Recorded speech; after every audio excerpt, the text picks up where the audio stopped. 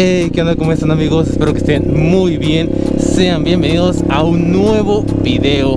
Así es amigos, como lo leyeron aquí abajo en el título El día de hoy les voy a contar la anécdota De cómo hace apenas unos días, unas semanas Una clienta de Uber Eats me regaló su pedido. Así que pues nada, espero que se queden hasta el final de este video Y vamos a comenzar, let's, let's, let's go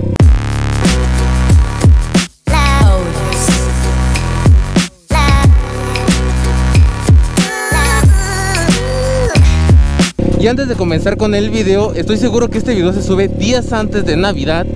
Así que les quiero desear una muy hermosa Nochebuena, que se la pasen con sus seres queridos, ya sean familiares, sean amigos, sean lo que sean, que se la pasen muy muy bien y obviamente también feliz Navidad.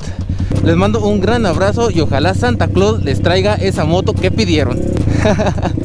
Pero ahora sí, a lo que nos truje Chencha y es esta anécdota.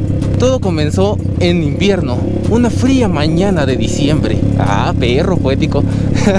bueno, no, ya hablan en serio. Sí, todo fue hace, les repito, como 15 días más o menos. Eh, me cayó un pedido doble, por decirlo de alguna manera, de Sanborns.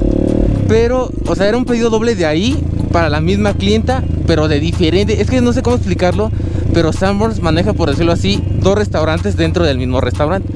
Uno que es como de comida, o sea, de cuando pides que sus enchiladas, sus omelets y todo ese pedo.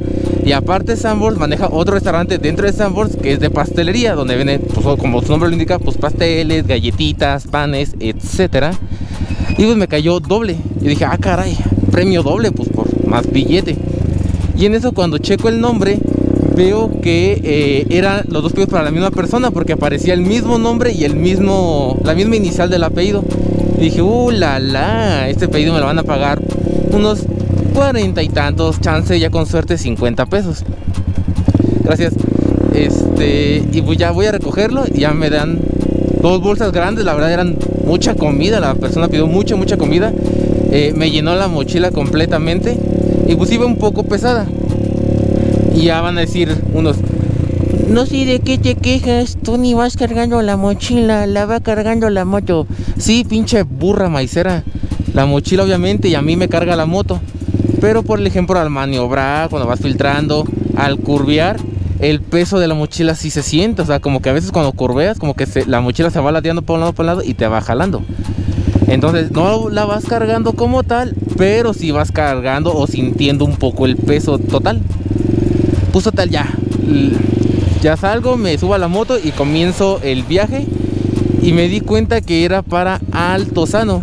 Que para los que no conozcan aquí en Morelia, pues de eh, recogiendo el Sambors de las Américas y era entregar en Altozano. Son como 7, 10 kilómetros, la verdad no sé ni cuántos kilómetros sean, pero es una distancia considerable. Y además tomando en cuenta que la ruta son curvas, pero unas curvas así perras, o sea, sí están, sí están chidas esas curvas. Entonces, pues cada que acostaba la moto acá, pues nomás sentía como el peso de la moto se iba para un lado, para un lado, y yo, ah, ya de repente como que tenías que reacomodarte tú y reacomodar la, la mochila para que no, no te fuera cargando solamente de un lado, sino se quedara bien centrada en la moto. Y pues ya subí, y ya conforme iba llegando y viendo bien el GPS y el nombre de la clienta, me di cuenta que esa clienta, la neta, o es bien floja, o le sobra mucho dinero, o las dos cosas, porque siempre pido por Uber a esa clienta, neta, neta, neta, neta. Desde que regresé, o sea, fíjense, tiene como un mes por mucho que regresé a Uber Eats. Neta, le he entregado como 4 o 5 veces. Y sin contar las veces anteriores a esas que ya le había entregado. Y pues yo como siempre pues soy muy educado. Entonces ya cuando me di cuenta dije, ah, es la misma clienta de la otra vez. Entonces ya llego y ya de hecho estaban afuera. O sea, salió la señora como que ya me iba cuidando por el GPS. Y su esposo algo le estaba haciendo a un carro que tenía ahí como que ahí lavándole los rines. No sé, algo estaba checando. Y ya llego y digo, no, pues un pedido para tal. Y dice, sí, hijo, aquí es. Y dije, ya, ya, le paso las cosas. dije, ay, pues con cuidado, porque neta era mucha comida y pesado. O sea, como que había un caldo o algo. Y, me dice, a ver, espérame tantito, hijo. Y ya cuando te dicen eso, tú sabes que es porque te van a dar una propa. Y dije, ah, genial, propináis. Pero eh, empezó a hablar con su esposo. Y le dijo, espérame, espérame tantito. Y ya se mete. Y escuché clarito que empezó a abrir las bolsas del pedido obviamente que le entregué yo y ahí ya me espanté dije, uy, creo que no va a ser propina. A lo mejor va a checar que el pedido venga completo o a lo mejor, como te digo, ah, creo que venía como un caldillo, una cosa así, que no lo haya tirado. Dije, si ya lo tiré, ahorita me va a dar el regañadón o me la va a empezar a hacer de todos, pues. Dije, no manches, ya me emocionado por la propina y pues no, me va a regañar. Y sí se tardó bastante, como unos, que serán? 5 minutos yo creo. Ya en eso sale con una, ¿cómo se llama? Con una cajita esas de aluminio, de lata, de metal, de galletas de mantequilla, esas chiquititas que, que se dan mucho o que hacen mucho, se regalan mucho en estas épocas decembrinas. Y sale con uno y me dice, mira hijo, feliz Navidad. Se toma tu propina. Y yo, ¡ah, la madre! O sea, muchos van a decir, ay no manches, mejor te hubiera dado el dinero. Si para los que no me conocen, como es la gran mayoría, yo soy adicto al pan y las galletas. Pero o sea, mi adicción es más allá del nivel normal. O sea, yo puedo, por ejemplo, ahorita que estoy de un solazo extremo, sin pedos me puedo comer un pan, unas galletas y un vaso de leche, sin pedos. Fría, obviamente, la, leche se toma fría, helada, porque así sabe más deliciosa. Entonces fue como de, no manches, qué chido, o sea, jamás me habían dado una propina en galletas. Y sentí muy chido, fíjense. Y ya me empezó a decir, no, pues tú ya has venido varias veces a entregarme, ¿no? Le dije, sí, la verdad, sí, señor, usted pide bastante. Y me dice, sí, sí, pido mucho. Y, sí, hay días, o en ocasiones más bien, me tocó que le entregaba yo y junto conmigo llegaba un Rappi o un Didi. O sea, pedía mi, o sea, yo entregaba un pedido y todavía llegaba otro repartidor de otra aplicación con otro pedido para la misma persona. Entonces dije, ah, no manches. Le hace, sí, hijo, la neta, pues eres muy educado. Este, también me acuerdo que cuando recién empezó la pandemia y durante esa, pues también me trajiste dos, tres veces. O sea, como que sí me ubicaba muy bien la señora y no sé ni por qué. Sí, muchas veces nadie se fija en el repartidor ni en la moto, simplemente que su pedido llegue bien y, y más en esa zona que les digo en Altozano, eh, para la gente les repito que no conozca, es como de las zonas más nice de la ciudad. Entonces, pues la mayoría de la gente es muy sangrona, muy mal educada y no te dan ni las gracias. Entonces, ya que un cliente te reconozca, es porque neta sí le pone mucha atención a, pues, a lo que pide o a quién se lo entrega. Y pues total, ya se lo entrego y me dijo, no, sí, la neta, felicidades, les he echado ganas y que la, la, la, la.